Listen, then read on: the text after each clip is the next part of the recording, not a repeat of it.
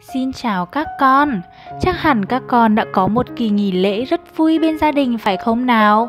Và chưa kỳ bước vào những ngày học tiếp theo, chúng mình hãy cùng nhau ghé qua vườn đọc số 9 để đọc cuốn sách Bố rất bận rộn nhé. Dạo này, bố bận việc nên chẳng có thời gian chơi cùng tớ. Tớ đành lặng lẽ quan sát, mong biết được những ngày bố rảnh rỗi. Rồi tớ bảo, bố ơi, bố không có thời gian chơi với con. Vậy bố mua cho con một chú thỏ để nó bầu bạn với con được không ạ?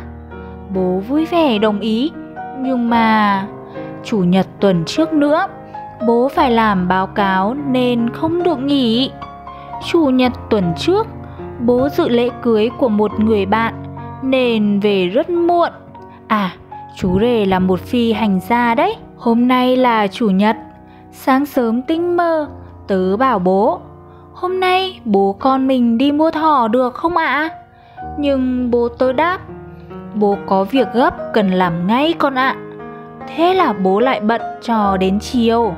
Và vì mệt quá nên vừa ngả lưng xuống ghế bành, bố đã ngủ ngon lành. Bất ngờ chưa? Bố chợt nhận ra mình hơi khác. Oái, sao mình lại biến thành thỏ thế này? Lại còn là một chú thỏ không biết nói nữa chứ. Bé An ôm lấy chú thỏ, lòng hạnh phúc ngập tràn. Xin chào thỏ con.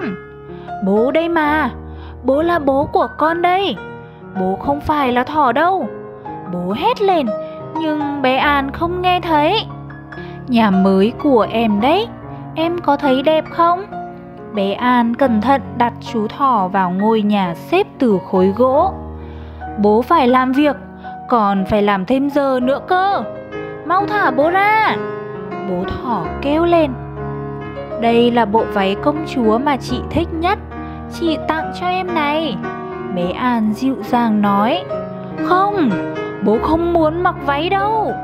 Bố thỏ dãy ruộng nhưng vô ích khi bình tĩnh lại, bố nhủ thầm Con gái mình mặc váy công chúa chắc là đẹp lắm Nhưng hình như mình quên không để ý. Để chị kể cho em nghe nhé.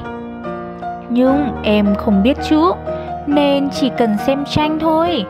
Hồi trước, mỗi khi kể chuyện cho chị nghe Bố chị vẫn nói thế mà. Bố thỏ cảm thấy hơi xấu hổ Bố không còn dãi ruộng đòi trở lại với công việc nữa. Bố ngỡ ngàng nhận ra, đã lâu lắm rồi mình chưa kể chuyện cho con nghe. Kể hết chuyện, bé an nói, chúng mình chơi đệm nhún đi. Bố Thò nhầm tính, từ lần gần nhất con được đi khu vui chơi, đến nay cũng đã 4 tháng rồi. Em đói rồi à chúng mình ăn chút gì nhé? Bé an ân cần hỏi thỏ con đã biết chăm sóc người khác rồi. Đúng là một cô bé chú đáo.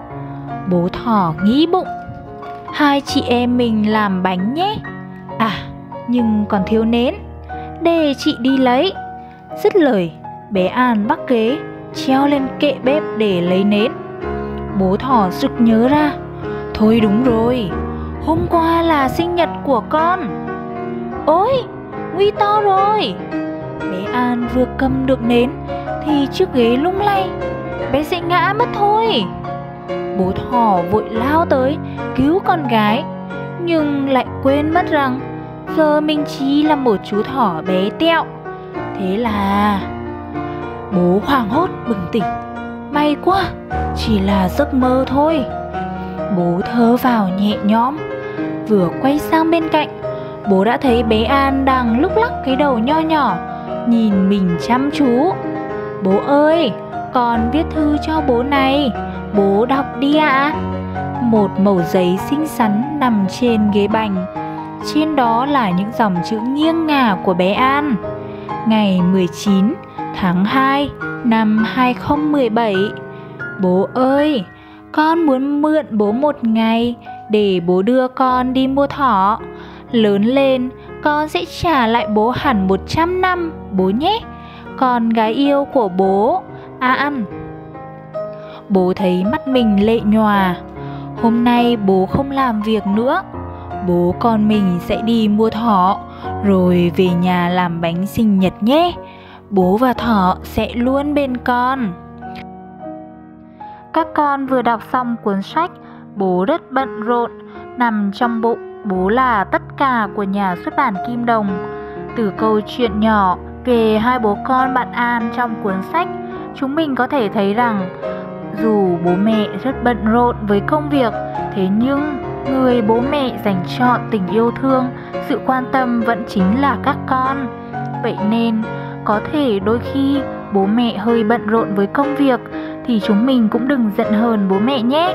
Thay vào đó, các con hãy dành những lời quan tâm, hỏi han đến bố mẹ và chúng mình sẽ lại có những giây phút thật vui vẻ bên bố mẹ phải không nào? Xin cảm ơn các con đã lắng nghe vườn đọc số 9. Hẹn gặp lại các con ở vườn đọc tiếp theo nhé. Xin chào.